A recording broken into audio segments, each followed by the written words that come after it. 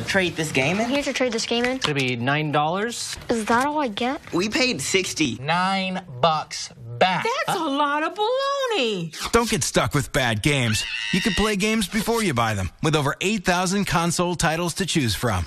You can ask your parents to go to gamefly.com, click the joystick, enter NICE, and get one month free. Must be 18 years or older to order online. You can ask your parents to join now and get your first month free. Product shown rated E for everyone.